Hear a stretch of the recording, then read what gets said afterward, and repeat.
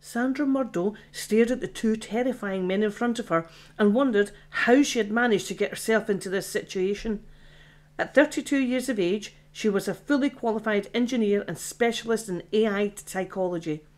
Sandra had been working for the corporation for 10 years and had an exemplary track record in managing the AIs in all the Juggernaut class cruise ships.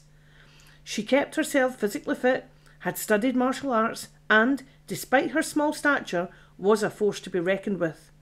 But she doubted she could better the two men who had her pinned to the bar. When she was first commissioned to Juggernaut 90, it was as a replacement for the previous engineer, David Boccarat. He had suffered a tragic death in an external suit malfunction mid trip to Echo 1 Holiday Planet. Sandra had never, in her wildest dreams, have imagined she would come face to face with him in her holodeck pub. On boarding the 90, her first duty had been to carry out an extensive psychological profile of the AI that ran the ship. Joe 90 had seemingly broken protocol by not waking the crew when David had died and had continued to run the ship by itself. Sandra was very good at her job and she could find no fault or glitch in the Joe 90 computer. Coupled with the video will that David had recorded in the event of his death, it seemed that Joe 90 had in fact followed the protocol programmed by David. For four weeks, everything had seemed normal. Then, after a stressful day working in the depths of the ship, she genuinely thought she had felt the ghost of David. Joe 90 recognised she was unnerved and had suggested she take a break. It was the AI that had activated a program in the holodeck that David would use to relax and had encouraged her to visit. Now, as she stood in the holodeck program of David's favourite pub, she recognised the decor and realised that the recording vindicating Joe 90 had been made in here. To her horror, she suspected that Joe 90 had in fact fabricated the whole recording to prevent its erasure, creating a hologram of David to cover its tracks. This revelation had been quickly followed by the dangerous situation she found herself in. Not only had the Joe 90 AI fabricated David's testimony, but it had also created a hologram image of itself inside the holodeck where it could physically damage or even kill a human. What creeped her out the most was that it had based itself on a puppet from an ancient children's entertainment show that David kept as one of his personal items a puppet she had reinstated in her quarters. The man on her left was Joe 90, around 5 feet 8, slim built, with light red brown hair. Despite her feelings of terror, she had to admit that he had a chillingly pleasant face with light green eyes that sparkled behind large black rimmed glasses. That face bore a slight frown of concern as he regarded her. On her right was a man claiming to be David Boccarat. Sandra had seen the images of David, and the man in front of her was definitely a younger version. He looked around forty years old, but the real David that had died was closer to sixty. He was fit and muscular and certainly looked like he could handle himself in a fight.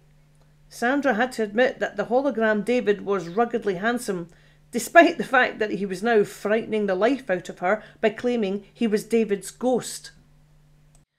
Sandra attempted to steady her breathing and lower her heart rate as she frantically tried to think her way out of this potentially dangerous situation. Sandra, did you hear what we said? David felt really bad about putting this likeable girl through what must be a terrifying experience, and he certainly knew how it felt to be terrified. He glanced at Joe 90, who gently reached out to touch Sandra's arm. She visibly flinched and pressed herself closer to the bar, trying to avoid Joe 90's gesture.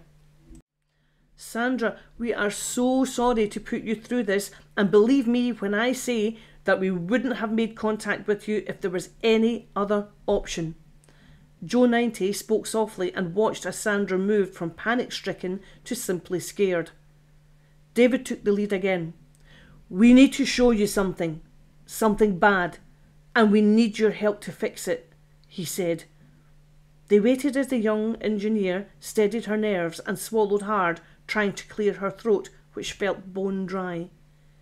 You, you, she took a deep breath. You are David, the dead engineer. She stared at David, and he smiled sadly and nodded. But how? Joe 90 interjected. David is a ghost. You cannot see him outside of the holodeck, but I can. For some reason, the holodeck projects his energy into this form, albeit a younger version of the David I knew. Hey, steady on! David tried to make a light joke to calm things down. Sandra wasn't buying it, but she nodded as though she understood. David continued.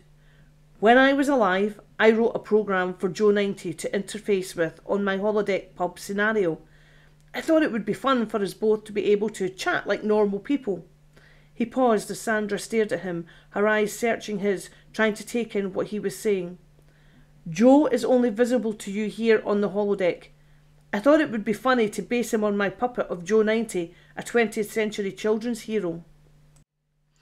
A small smile flicked across Sandra's lips as she understood the joke.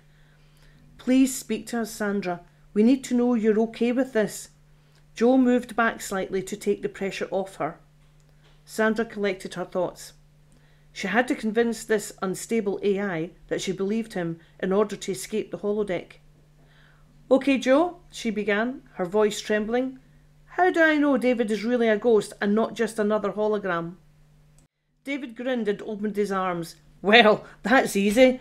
You may not have seen me, but you certainly saw the things I moved and heard my footsteps. When? she asked. I want details. All right. The first time you went to the engineer's quarters, I was already there flipping through a technical journal lying on the table. You came through from the bedroom just as I turned a page. You must have seen it. That could simply have been a draft, and Joe 90 could have known that. He could have had the video link on. Hey! Joe 90 interjected, sounding indignant. I respect crew privacy and only have audio on in quarters. So you say, said Sandra, gaining confidence by the minute. How about that time in the engine room? I saw a fall that the technician had missed and knocked a cup over to get your attention. Again, it may have been coincidence caused by the vibration of the engines, and Joe could have seen that on video link. She folded her arms and stared hard at David, making him uneasy. Well, what about down in the sub levels? Joe can't see down there. David lifted his chin. He had her. What about the sub levels? Oh, come on. Joe sent me down to make sure you were okay. I was walking behind you and you heard me take a step. Sandra's eyes widened a little and David continued. I had to walk in sync with you so you wouldn't hear me. And when you had finished at the last console, you turned so quickly I couldn't get out of the way and you walked right through me. What did I say? she asked quietly, a chill running up her spine. You asked if it was me, that was there and to give you a sign. Sandra's arms dropped to her side as she stared at David in shock. Why didn't you do something? Because I didn't want to frighten you, David said gently. Believe me, I hate upsetting you like this, but Joe and I have no other choice. Something really bad is going on, and. Before he could finish, Sandra interrupted him. I need more proof that you guys are who you say you are. Let me out of the holodeck, and you, David, can move things or make a noise on cue to let me know you're really a ghost haunting this ship. She had played her ace card and hoped Joe 90 would fall for it. David glanced at Joe and shrugged his shoulders. Joe 90 wasn't so sure. He didn't know Sandra well, but she seemed to have come to terms with this whole situation very easily. Once outside the holodeck, there was little he or David could do to influence her. He bit his lip and studied Sandra, who stared back at him defiantly. He really liked her. She was a fighter, and he wanted her on their side. Okay, he finally said, if that's what you want, be my guest. He and David stepped back and gestured to the door. Sandra walked slowly at first, not really believing that they were falling for it. As her hand touched the door, she suddenly lunged forwards and dived out into the corridor of the ship, almost hitting the wall on the other side in her haste. She turned and stared back at the closed door of the holodeck, breathing hard. She needed to shut down the AI and disengage his personality file. Checking she had her multi tool in her pocket, she marched purposefully towards central control. Well, Sandra, what do you want David to do? Joe 90's voice rang out around her. She ignored it. Sandra, did you hear me? She broke into a run, determined to get to central control before Joe 90 could cut off the air. Horror filled her as the thought occurred to her that maybe this was what he had done to David. She put her head down and ran faster. Sandra, Sandra, what are you doing? Joe 90 sounded confused and alarmed. She burst into the control room and dived towards the command console. Sandra, wait! Please, listen! We're telling the truth! Please don't! Joe 90 was terrified. He could see what she was planning to do.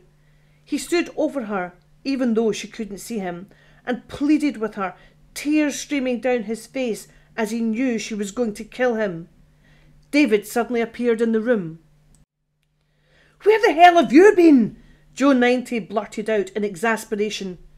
I didn't know where you were. I just heard you calling out and came right here. What's happening? She tricked us. She thinks I'm mad and she's going to erase me. Over my dead body. David stopped as he realised what he had said. Too late, he quipped. For fuck's sake, David, do something and stop mucking around.